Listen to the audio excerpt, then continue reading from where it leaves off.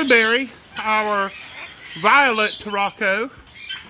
And you can see Blueberry, come on up here, up here, is very hungry. Here, get it. Good morning, friends. You're watching Daybird Aviaries. This is a Friday feeding video, or a Feed My Pet Friday. Since I don't have any more baby birds to feed right now, I decided I would show you what I feed my Turacos. Now, Turacos, they're a, a weird bird that comes from Africa. They're sort of like a toucan. They're sort of like a pigeon. They're kind of like a pheasant. They're they're just weird little birds. They're amazing. They're active. They are friendly. They are vocal and interactive. Now they don't speak human words, but they they do vocalize. But one of the most interesting attributes about them is that they are fruit eaters. They eat fruits and vegetables.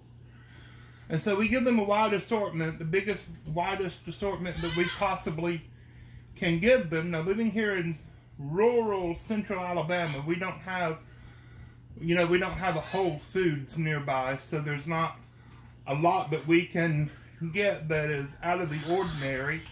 So we rely heavily on frozen blueberries and cantaloupes and grapes and apples and things like that. Today I found uh, a mango and the kids and I ate quite a bit of it, but I saved some back so that the Turacos could have some. Now these peelings, uh, I'll probably, I'll probably give those to the uh, Patagonian Cavy. He would like those. This pit, I'm going to give to uh, some of the lories and let them eat the rest of that off. But I've diced up quite a bit of the mango that I'm going to give to the Turacos. I'm going to sprinkle that on top of their food bowls once I get that that done. Um, sorry about that. My my my uh, our little dog Buster is having an issue. I'm going to start by chopping up a, a yellow squash. Now this doesn't have to be cooked for them to digest it. They will eat it just fine. I'm going to take those little ends off. I don't know why. I just, you know, I do that for for myself. Now this is something that came out of the garden. This is a crookneck yellow summer squash. And I'm just going to cut it up into small little bits. You want something less than half an inch in size, um, cubed up for them.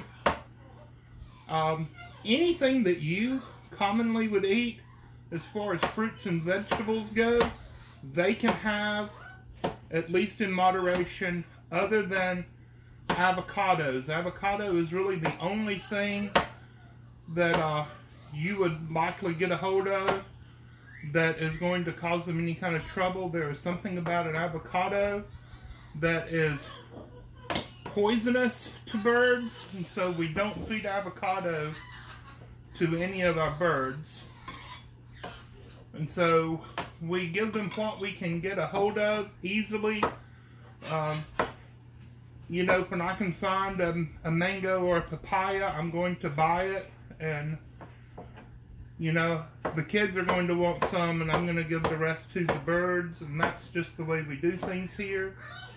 So, if you're going to feed something hard, like a carrot or a sweet potato or a winter squash, you know, something like a a butternut squash or an acorn squash or even a, a pumpkin, you're going to want to cook those kinds of things.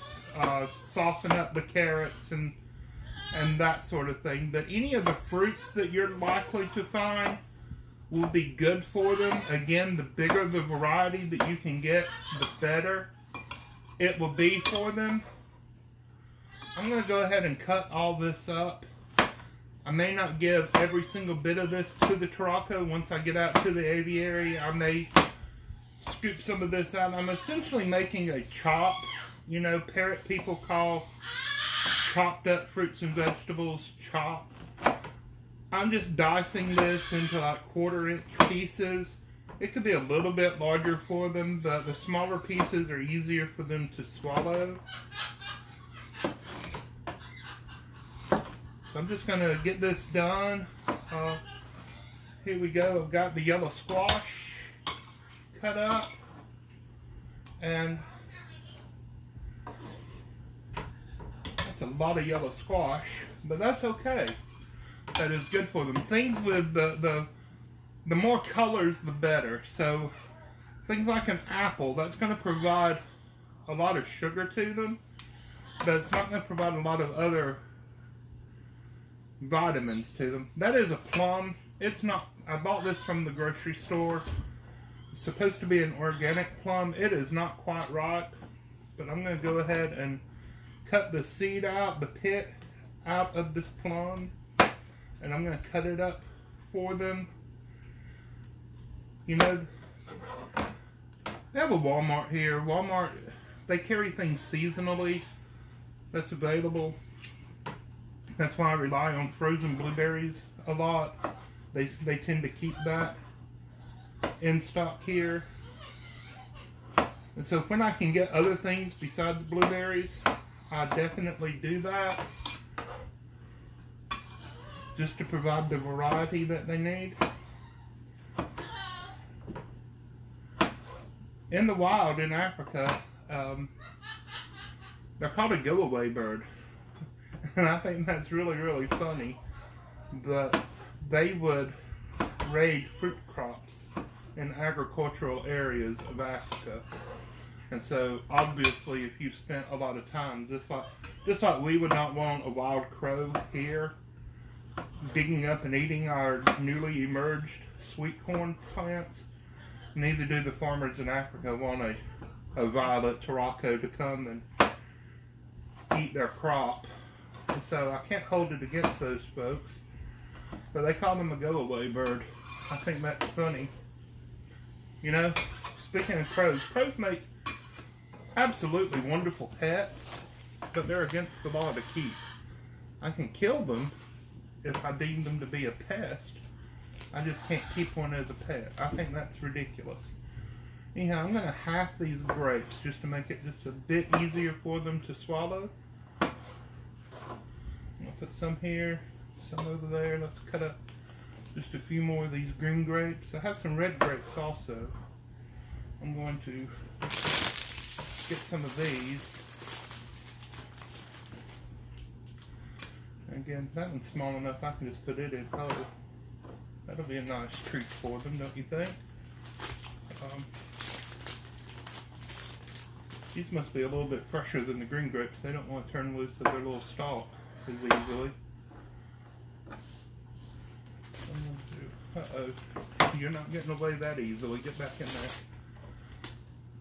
Let's get these cut up. And then a surprising ingredient that I try to give to them just as often as possible is salad greens chopped up. They, they really seem to like just the green leafy vegetables. Sometimes I'll give them some steamed broccoli. Um, broccoli is uh, in high demand by our children. They love this stuff. So there's not really a, a lot of broccoli left around here.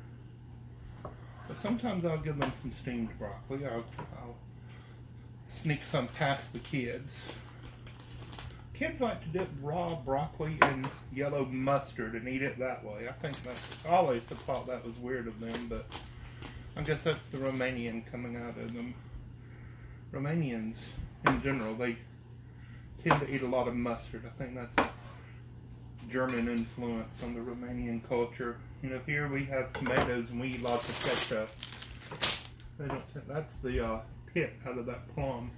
Not gonna. A word of caution about that: don't give pits from plums and peaches and apricots and nectarines to your parrots. If they were to eat one or two, it probably would not be so bad but it's said that the pits do contain arsenic and arsenic will build up in the body. The flesh, the fruit is perfectly fine, but the inside the pit uh, is not to be eaten.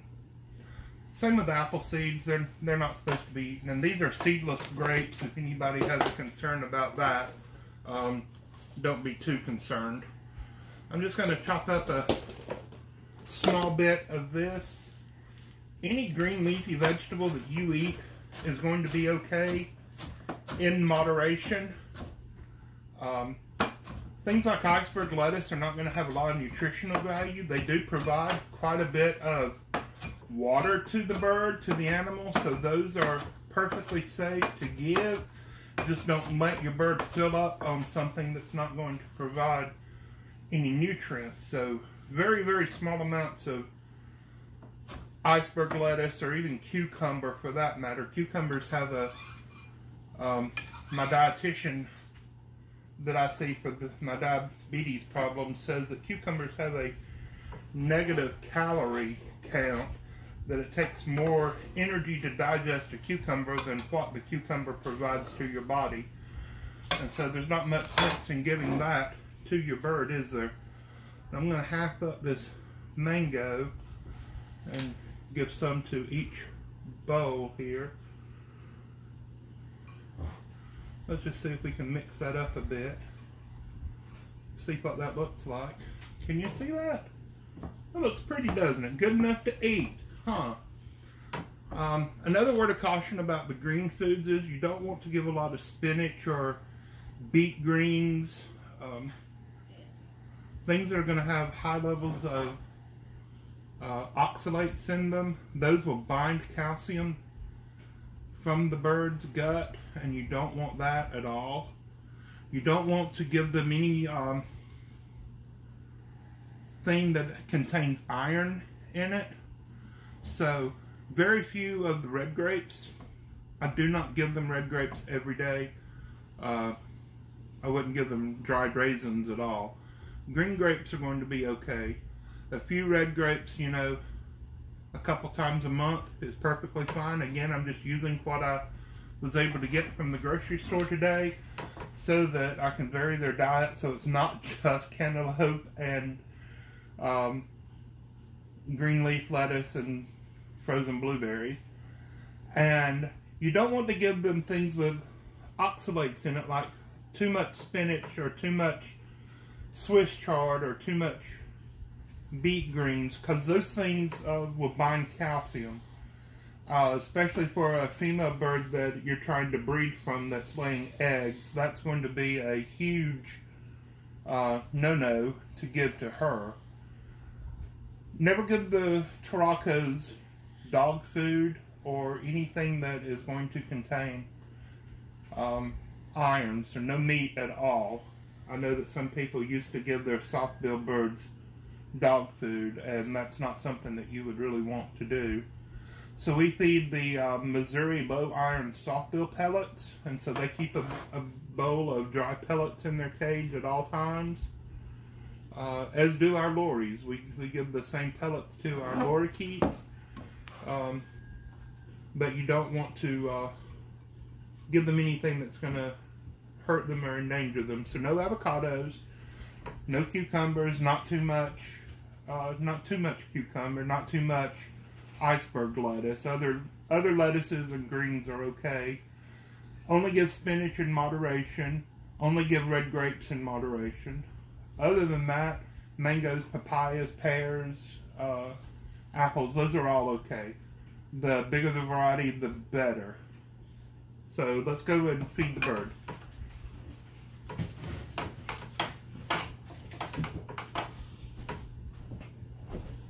is Blueberry, our violet Turaco. And you can see Blueberry, come on up here, up here, is very hungry. Here, get it. Here, I got bowl for you. Here, come on. Come on, baby. Here. Oh, that won't fit in there. The bowl's too big. Here, I got it. I, I know what to do. Now he has his bowl of pellets. He is not starving as he would make you believe. Here.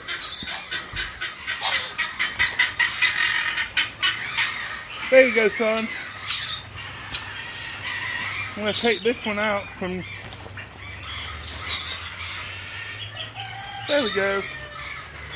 Now he doesn't know, he's not able to drink from this nipple waterer so he has a big bowl of water down low. What do you think about that, baby? Sorry about all the noise. Y'all know it's noisy in the birdhouse to begin with, but um, Hurricane Ida is here today, and she's dumping quite a bit of rain on us.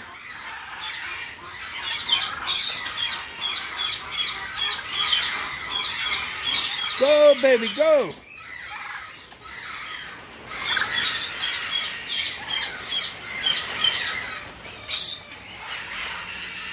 Is that good? Is that good stuff? I'm glad you like it. I'm glad you like it. The bird running frantically in the background is in a different room um, of the aviary. That is uh, Chicken, the guinea that grew up in the house. He and Blueberry grew up together, but Blueberry no longer likes his company. But he still wants to be with Blueberry. It's very, very unfortunate. Our uh, dirt floor in here is very muddy today. I've got to, some drainage issues to take care of, obviously.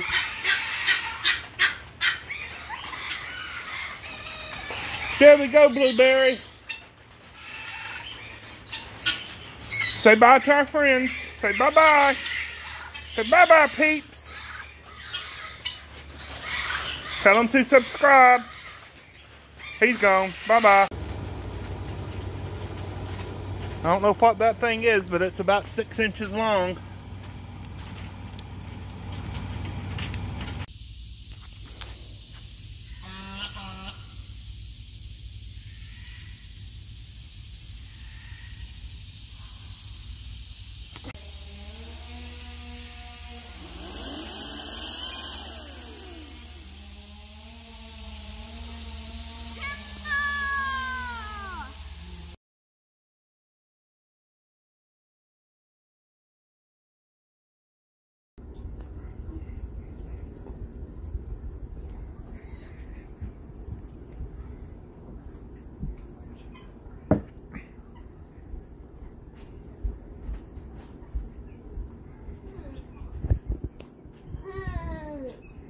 Water, baby.